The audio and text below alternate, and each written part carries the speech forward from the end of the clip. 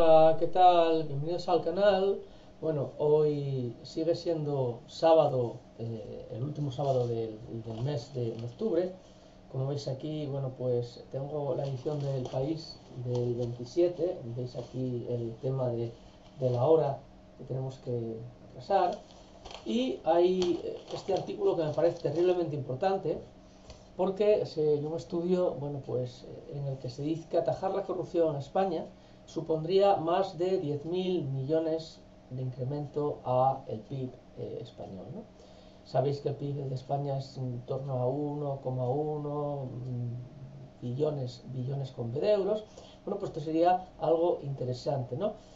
Eh, bueno, pues evidentemente esto, mmm, como veréis aquí, eh, vamos a, avanzar a ciertas cosas. Bueno, pues aquí vemos calidad de control de las instituciones. Bueno, pues aquí un indicador, que el tope sería 100, que lo tiene Noruega, Nueva Zelanda, Finlandia, Suecia, Suiza, Suecia, Holanda, Dinamarca, Canadá, Luxemburgo, Alemania, estados todos de, o países que tienen esto que se llama estado de bienestar. Y tenemos que bajar hasta el puesto 31 para encontrarnos con España. 20, a 20 puntos de distancia de lo que sería bueno pues el tope no pues en una línea con países como Islas Mauricio eh, pues Letonia Corea del Sur Macao eh, bueno pues Emiratos Árabes que tanto se le critica tiene un 76% está poco por, de, por, por, debajo de nosotros.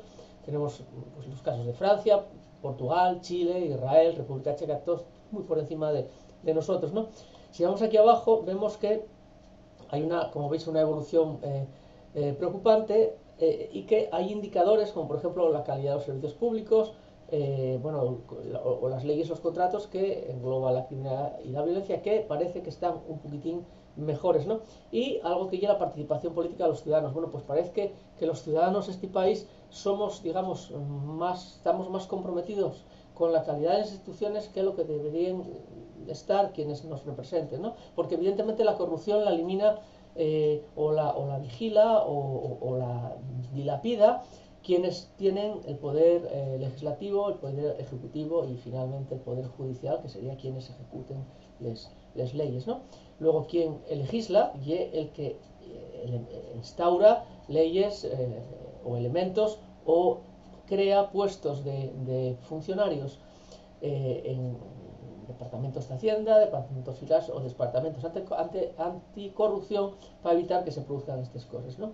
Vamos un poco más abajo y nos dice que estamos peor que Portugal y mejor que Italia. Bueno, pues decir que estamos mejor que Italia es bastante tristes viendo cómo están las cosas. Y decir que estamos peor que Portugal, pues bueno, pues más o menos lo mismo. Y aquí tenemos, bueno, pues la calidad reguladora de España, eh, valorada de 0 a 10 y un 6,9, no llegamos al notable, un país que se considera, según nuestros dirigentes, de lo más avanzado de Europa y el control de la corrupción aquí quedamos como suele decir con el culo al aire porque tenemos un aprobado raspaín un 6%, un 6 sobre 10, ¿no? Cuando Reino Unido y Alemania tienen un 8,4, Estados Unidos un 7,8, Francia un 7,5, Portugal y estamos otra vez por encima eh, de eh, a, a cuatro décimas de Italia, suspende Grecia si queremos el ¿no? Estos datos son datos palmarios. Cuando desde este canal o desde mis redes sociales se critican estas cosas, pues hay gente que apelando a la idea eh, neoliberal, neocon del mercado, mercado, mercado, pues no se da cuenta que en el fondo lo que está incentivando, lo que está rehogando y este tipo de prácticas, ¿no?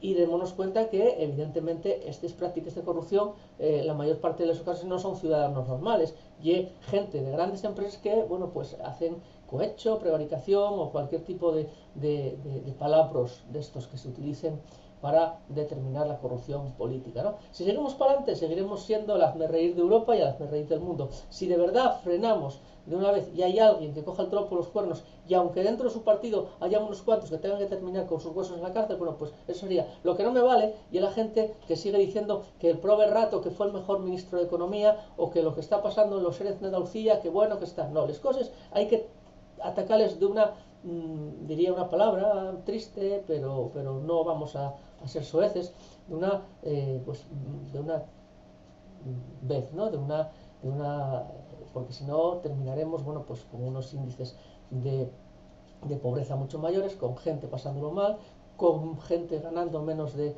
eh, lo que debería ganar para mantener su vida y su familia y como veis, pues son datos eh, oficiales, datos eh, públicos, datos que estudien bueno, pues la situación de España con el resto del mundo.